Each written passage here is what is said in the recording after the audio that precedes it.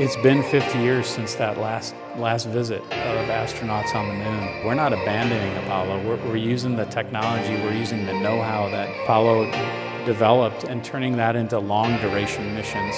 Within the last few years, we've entered what I would say is the third space age. I think I characterize it best as the conjunction of space sectors in a way we haven't seen before. What are the things that we need to be doing now to move the field forward?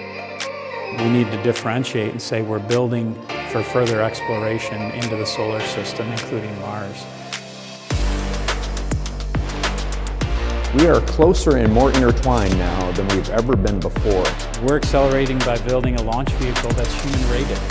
This flagship is ambitious, it's exciting, it's going to make huge impacts for our ability to engineer uh, Earth-like planets. For transiting exoplanet science, we need to understand the stars better.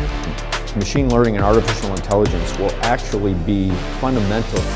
It's our first chance to find and identify what might be a kind of Earth cousin-like world. And how we build from here is so important.